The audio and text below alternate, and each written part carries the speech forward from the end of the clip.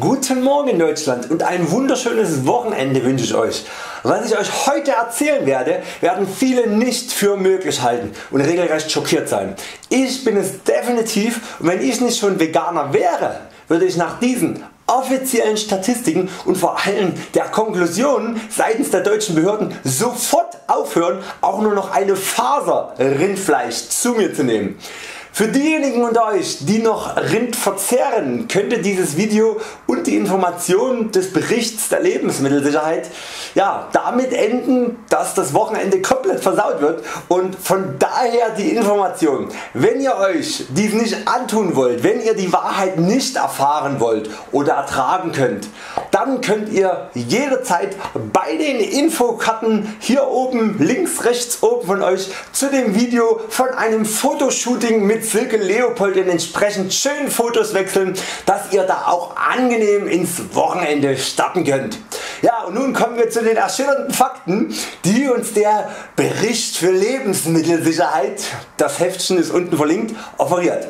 Also heute geht es um die nationalen Rückstandskontrollen für die in Deutschland geschlachteten und in den Handel gelangten Rinder.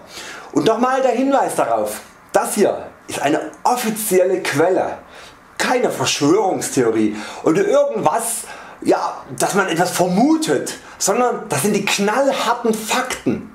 Sie werden auch jährlich vom Springer Verlag publiziert. Springer Verlag dürfte dem einen oder anderen vielleicht ein, ja, ein Begriff sein.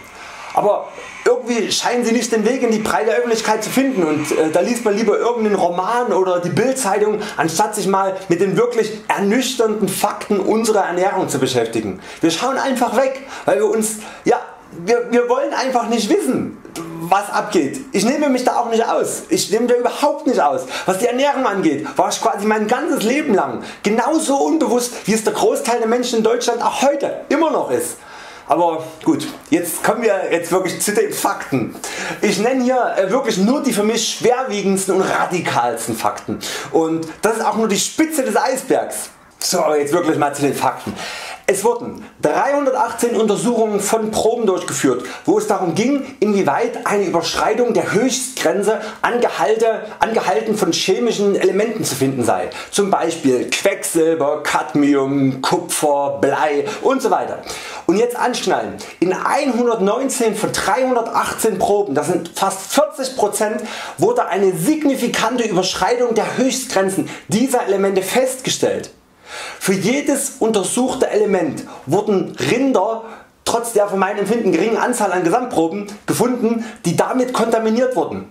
Dabei lagen vor allem äh, bei den Proben die auf Kupfer untersucht wurden über zwei Drittel der Proben also über 66% der Rinder über den Grenzwerten und nicht etwa knapp drüber, sondern im Durchschnitt, im Durchschnitt über das Dreifache der Grenzwerte. Der Grenzwert liegt bei 30 mg pro Kilogramm und der Mittelwert der Proben war bei 94,6 mg pro Kilo. Ein Überschuss in Kupfer ist vor allem Auslöser und Katalysator an psychischen Erkrankungen und schaut Euch doch mal unsere Gesellschaft an. Burnout, Depression, Angststörung und so weiter. Da müsste man doch gerade was Kupfer angeht besonders sensibilisiert sein. So, und das, das krasseste kommt erst noch. Wir sind noch lange nicht fertig. Wie reagieren die deutschen Behörden darauf? Ich zitiere jetzt sinngemäß. Die Auswertung der Kupferbefunde ergibt eine relativ hohe Anzahl an Höchstgehaltüberschreitungen. Da der Einsatz von Kupfer als Futterzusatzstoff erlaubt ist, muss der zulässige Höchstgehalt ebenfalls angepasst werden. So ungefähr. Also noch einmal, dass ihr die Absurdität wirklich begreift, mit der man äh, gesetzliche Regelungen quasi durchwinkt. Gab zu viel Kupfer in den Rindern. Also werden nicht die Betriebe angehalten darauf zu achten, dass die Grenzwerte zur Erhaltung der menschlichen Gesundheit und der Psyche im Bereich jetzt von Kupfer eingehalten werden, sondern weil es so viele Überschreitungen gewesen ist, ist es doch einfacher einfach die Grenzwerte anzuheben. Und die Begründung? Die Begründung steht auch noch da. Weil Kupfer als Futterzusatzstoff erlaubt ist. Ohne Werte, einfach nur weil Kupfer per se erlaubt ist, da ist es auch okay wenn die Grenzwerte irgendwie dann auch angehoben werden. Und die Grenzwerte die von Medizinern empfohlen wurden, dass sie nicht überschritten werden sollten. Weil die Agrarindustrie einfach sagt Kupfer als Futterzusatzmittel äh, ist erlaubt. Was ist denn das für eine... Was ist das für eine Logik? Was ist das für ein grenzenlos respektloser Umgang mit der menschlichen Gesundheit? Das ist unfassbar skandalös. Aber äh, wir sind noch lange nicht am Ende. Bei rund jedem zwölften Rind wurde eine Quecksilberüberschreitung festgestellt.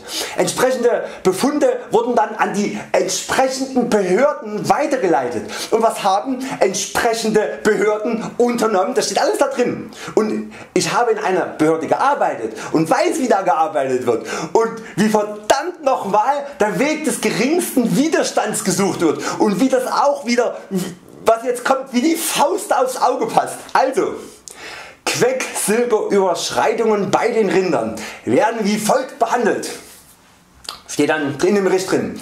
Neben den Umweltkontaminationen wofür der Landwirt nichts kann, äh, wird auch das hohe Alter der Tiere mitverantwortlich sein. Hohes Alter der Tiere in der Rinderzucht. Muss ich da noch irgendwas dazu sagen?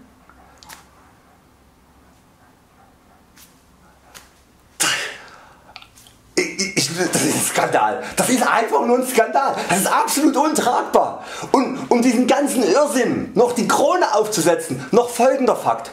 Es wurde das verbotene Antibiotikum Chloramphenicol, hoffentlich habe ich es richtig ausgesprochen gefunden, was zu einer dosisunabhängigen, das heißt egal wie, wie viel man von diesem Stoff nimmt, irreversiblen, das heißt nicht, nicht rückgängig zu machenden Knochenmarksaplasie führt. Dazu wirkt es neurotoxisch, kann zu, dieser Hex, zu diesen Hexheimer Reaktionen führen und und und. Das ist aber eigentlich alles scheißegal, weil das Zeug ja verboten ist. Aber man hat es gefunden und äh, entsprechend dann an die zuständigen Behörden weitergeleitet.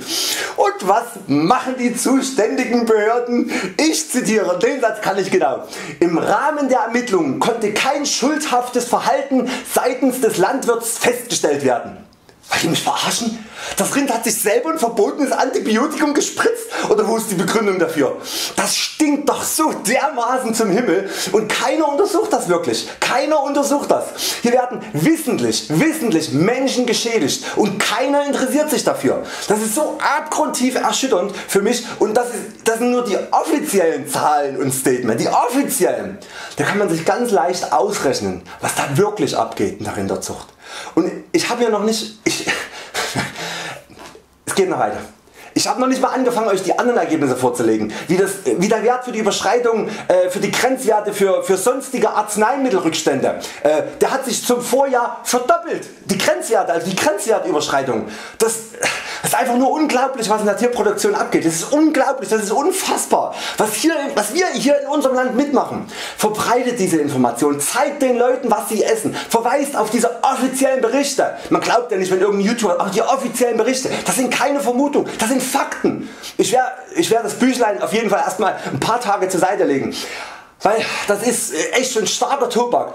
Aber keine Angst, da wird, da wird weiter geforscht und weiter aufgeklärt von meiner Seite. Ich will es auf jeden Fall wissen.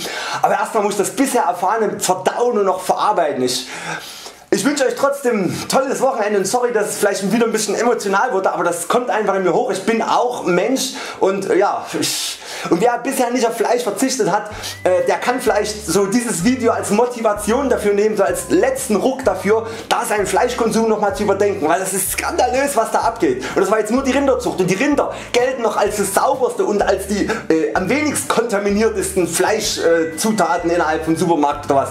Also es ist einfach nur krass, einfach nur krass. Aber gut, wir sehen uns morgen wieder und ich wünsche Euch trotzdem ein schönes Wochenende. Macht's gut, Euer Christian. Tschüss.